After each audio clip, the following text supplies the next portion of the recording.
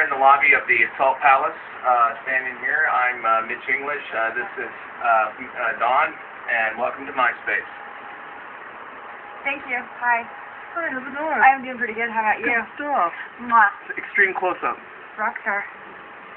Oh, is that I love you? Or is it? That's Hang Loose okay, right this there. is And then I love you. And, and then this is I love you. I